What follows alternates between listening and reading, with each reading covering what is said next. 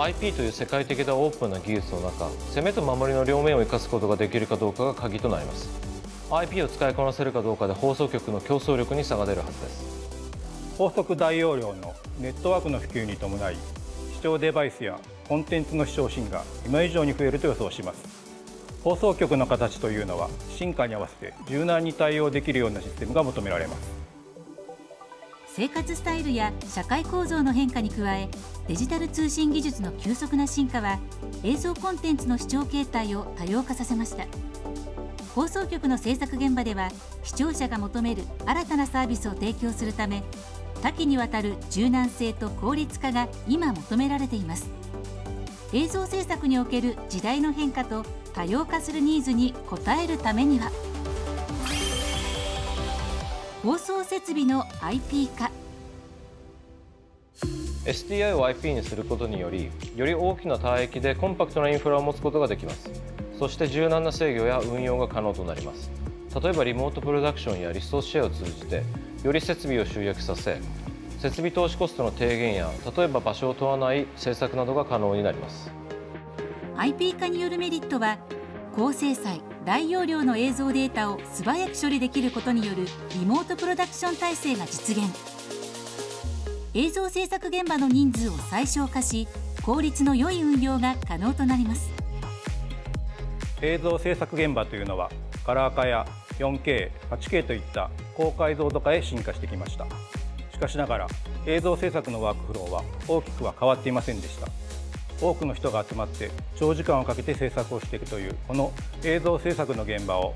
IT、IP ベースであるケイロスとネットワークを活用していただくことでこの現場のプロセスを変えていきたいというのが大きな開発理由です。放送局で使用するハードウェアの部門をソフトウェアベースのプラットフォームに移行することで環境や場所に制約されない放送局レベルのハイクオリティ映像制作が可能となっています。一度商品を出したら終わりではなく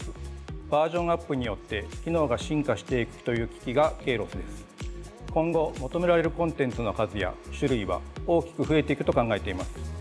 求められるコンテンツの質を落とさずにクラウドなども活用しながら効率的に制作いただけるようなものを目指しました。長く放送業界に携わってきたパナソニックは IP 化に対応すべく次世代ライブ映像制作プラットフォームケイロスを開発。高度な演出とオペレーションを効率的に行えることや従来型のスイッチャーと比較しても短い期間で習得できると評価いただいています。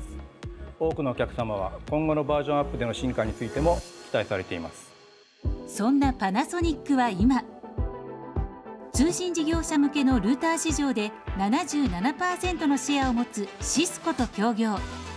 そこには一体どんな狙いがあるのでしょうか？パナソニックは放送機器事業につきまして60年以上の歴史があります。放送の IP 化推進にあたって今回グローバルトップメーカーのシスコと協業することになりました。放送機器のプロとネットワークのプロが組むことでお客様の IP 化をサポートできると考えています。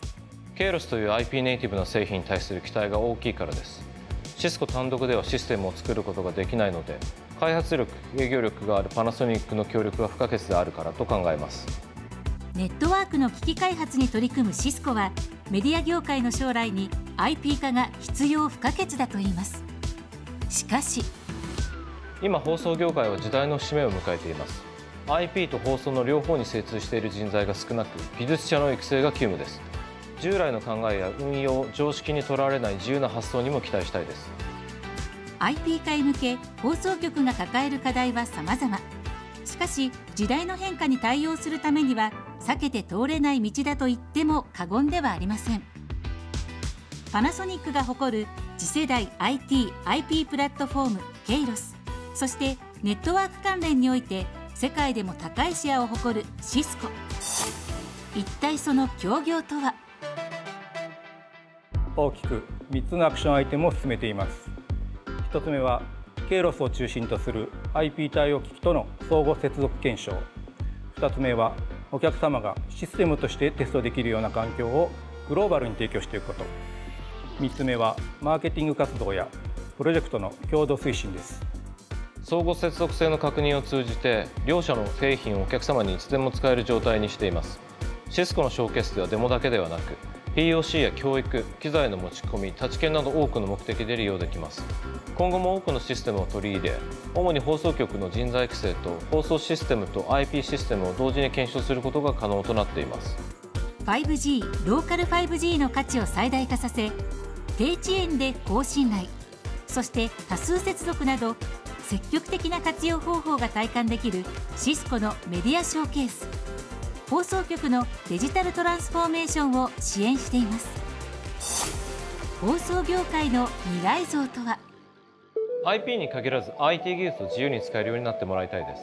技術は経営であり技術を使いこなせるかどうかで放送局の経営力に差が出る時代になるはずです。非常に厳しいビジネス環境の中でシスコとパナソニックの2社と世界の放送局で新しい価値を創造していきたいと考えます。まず将来の環境としてコンテンツ制作の裾野がますます広がっていくと考えています。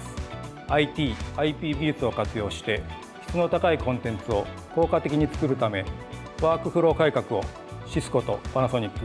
そして全世界の放送局で巻き起こしていきたいと思っています。